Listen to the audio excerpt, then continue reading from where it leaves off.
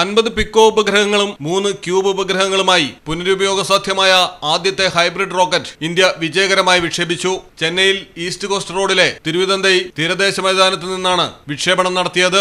മൂന്ന് ക്യൂബ് ഉപഗ്രഹങ്ങളും അമ്പത് പിക്കോ ഉപഗ്രഹങ്ങളും mobile launcher ഉപയോഗിച്ചാണ് ഉപഭ്രമണപഥത്തിലേക്ക് വിക്ഷേപിച്ചത്.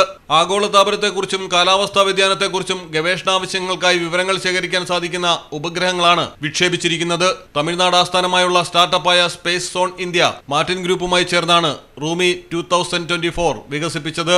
റോക്കറ്റിൽ ഒരു ഹൈബ്രിഡ് മോട്ടോറും ഇലക്ട്രിക്കലി ട്രിഗർ ചെയ്ത പാരച്യൂട്ട് ഡിപ്ലോയറും ഉൾക്കൊള്ളുന്നു. ചെന്നൈയിലെ എയറോ ടെക്നോളജി കമ്പനിയായ സ്പേസ് സോൺ സ്ഥാപകനായ ആനന്ദ് മേഘലിംഗമാണ് ദൗത്യത്തിന് നേതൃത്വം നൽകിയത്. ഐ എസ് ആർഒ സാറ്റലൈറ്റ് സെന്ററിന്റെ മുൻ ഡയറക്ടർ ഡോക്ടർ മയിൽസ്വാമി അണ്ണാദുരയുടെ മാർഗനിർദ്ദേശങ്ങൾക്കനുസരിച്ചായിരുന്നു ദൗത്യം. News desk Malayalam television.